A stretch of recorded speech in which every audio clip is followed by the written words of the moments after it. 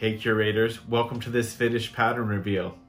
Hi everybody, welcome back to the Yarn Curator. My name is Naomi and welcome to my small slice of the internet where we like to exhibit one finished project at a time. If you would like to follow me on social media, I am the Yarn Curator on Instagram and House of Cardigans on Ravelry. And I also have a joint podcast group with my sister Zoe, and that is the Curated Felicity group on Ravelry. What's up, Zoe? Hey, hey. And today I am joined by my handsome husband, Mr. I don't know Yarn. about all that, but thank you, thank you. Mr. Yarn Curator, and he is here to model and give feedback, uh, his opinion as well as mine, on a finished sweater that we just finished making. This is the Forest Park Cardigan by Kay Hopkins. Shout out to Kay Hopkins. And, and I finished this actually probably like a month or two ago, I would say. But she was still working on it this morning, though. just leaving in the last few ends. Don't be telling dirty little secrets. So, back in February, this guy got a new job in an office Pre COVID. and requested a cardigan to be able to wear to work. So, I spent a few hours searching Ravelry for something that I thought would work for him, and I just kept coming back to this pattern while I was sifting through the results. One, I know he likes trees. Uh, yes, I have the Florida Trees Are Cool license plate. So I thought that was a good tie-in. We used to do a lot of hiking when we lived out in the mountains, so I thought it was good.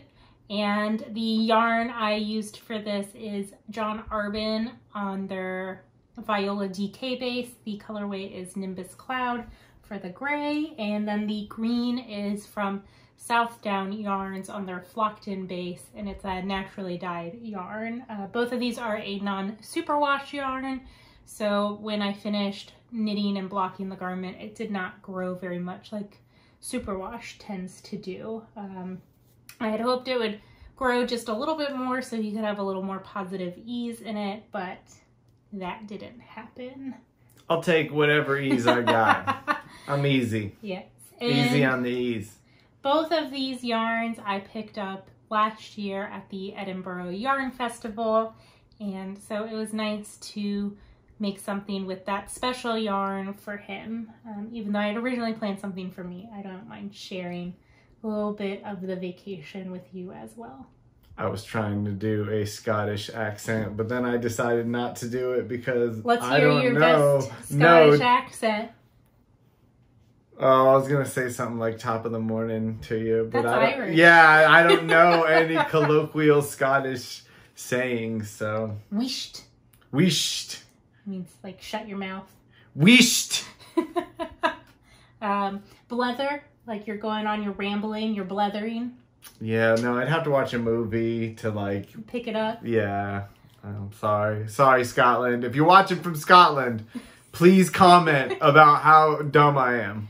Or give us some more slang we can work into Yes, our yes. everyday um, vocabulary. Ev- So this is one random tangent, and then we'll focus back in on the pattern.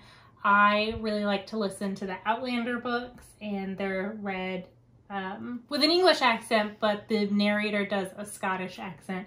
And what are you shaking your head at? I'm not a Highlander fan. It's Outlander. Outlander, Highlander. That's when I was a kid. anyways, in the books, when they say the word murder, there's one character and he always says murder, and that's what I hear every I time I hear the word murder. It's Yeah, murder. no. I just got good old American accent. So, what do we want to say about this pattern? How does it fit? How does it feel up on your person? Um, You know, it feels okay. It feels comfortable. I am in an air conditioned environment, so I think it'll suit me well. Um, I wish it would have came down past my bum, but it's okay. It ends around his hip, and you'll see that at the end. I'm going to put some video footage at the end of him modeling this. Uh, for me, a few things I have to say about this pattern is I did not find it to be the most well written pattern in terms of the directions. I thought they were a little confusing. Whose fault is that? The tech editor or the designer? or me as the knitter, but I did not find she would put a lot of information in a section to where it became overwhelming. So you really had to like slowly read through them uh, while knitting it. Um, for in terms of looking at the fit on you, I don't believe there's any short row shaping along the back here, which I think is why the back sometimes rides up on you. Remember earlier you were saying like you thought the back looked a little funny? Do you have consent to touch me? I do. Okay. Um, yes, I do remember saying that.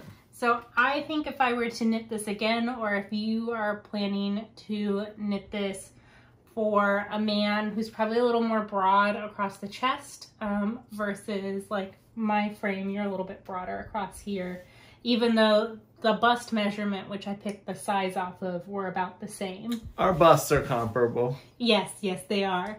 Anyways, I think it needed a little bit more room here across the shoulders, and I think that whole back panel would fit better on you. So if it were me to re, if I were to re-knit this, I would have added either a little bit of short row shaping here, maybe a couple more, or maybe I would have done a few more raglan increases just on the back panel, or I would maybe consider doing a few short rows after dividing for the sleeves just to create a little more fabric there.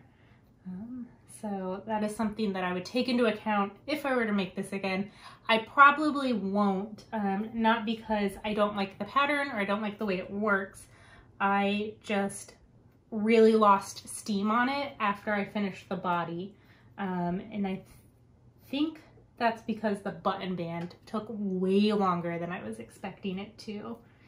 It does still need buttons for him. We haven't gone out and picked those out yet.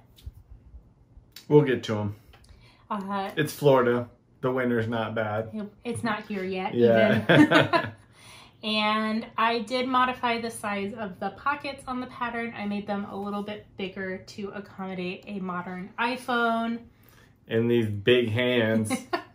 the color work section here that goes across the chest and there's a little bit on the sleeves as well is done with mosaic knitting. So it's different than stranded color work. You work a series of slip stitches. So the color work is worked over two rounds, but you manipulate with slip stitches those two rounds and that's what creates this color work pattern and I she has the option where you can either purl the branches or knit them in stockinette and I chose to purl. I'm glad I did. They pop off, uh, the texture of that pops off the sweater a little bit more. Popping off. oh, if I were also to knit this again, I would probably do a few more rows here on the shawl collar so it's a little bit bigger. When I was on my needles, it looked plenty large, but now looking at on you, it looks a little bit petite. And so I would probably add... because of my bust. That's exactly what it is. So basics about this sweater is it is knit top down with a raglan construction. You knit these increases. You actually work a little bit of the color work section here before dividing for the sleeves. Then you divide the sleeves off and work the rest of the body flat back and forth, so knitting and purling. Once that's done, you then pick up your sleeves. You can work this optional color work detail and um, this this optional color work detail. That optional color work detail. So once those are finished, you then pick up the buttons on the body of the sweater. Then you pick up the button band. Uh, the shawl collar is worked using short rows and then you bind off. Um, I think that's the basic rundown of how it's constructed. It's a little fiddly when you're working this color work right here in between the raglan increases while you're still working because you actually have to like carry the working yarn across the armhole and then you cut that and weave in the ends at the end. So yeah, I would definitely say if you are an adventurous beginner or an intermediate knitter, um, definitely doable. If you know how to knit, purl, make one left, make one right, and are feeling frisky and want to try out mosaic knitting, then this is a good pattern to give a go for Are you feeling frisky? I was feeling frisky. Are you feeling frisky? I'm always feeling frisky. so I think with those skills, you can definitely make this if you're looking to make one of your first garments. The don't other, be scared. Don't be scared. And I do have to say, one of the things I like about this cardigan, which is something that I don't often see when I'm pattern browsing, is the fronts on it stay. You just kind of punched me. You just she just punched me. Sorry. I'm not used fine. to having a real life model. Okay, sorry. It's okay. Um, the front panels on this stay closed and so I notice when I look at a lot of other cardigans on Ravelry, a lot of times they kind of fly open and you end up looking at the wrong side. So if you move your arm, no, you can you can be relaxed. So like if he's just sitting here, it hangs nice and closed. A lot of times I see things like drape open like this and personally that drives me a little bit crazy. So that is one of the things that I like about this pattern is it holds that kind of closed shape well. So yeah, I'm excited to see him going off to work in this. I asked him when we went to go take some video footage of him wearing it earlier to choose how he would style it. Is how he would typically wear it to work on a Not right day. now. Not right now. No, not right now. In at the end. So they probably have already seen it by now. No. What you're about to see. What you're about to see is how he would typically wear it to work, and I think you can dress it up or dress it down. We only did one outfit for our little mini model session. So yeah, you guys will see how that is styled at the end of the video. And as always, if you liked today's episode, give it a thumbs up, hit that subscribe button, and until next time, I hope whatever you're working on brings you joy, and we'll talk to you guys later. Bye. Bye, -bye.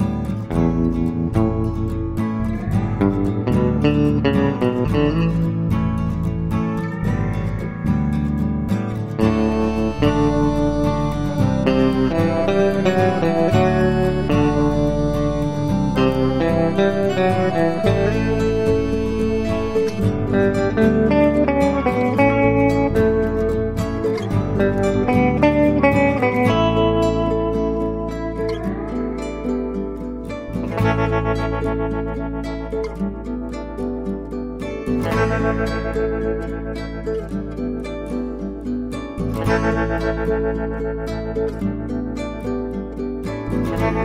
you.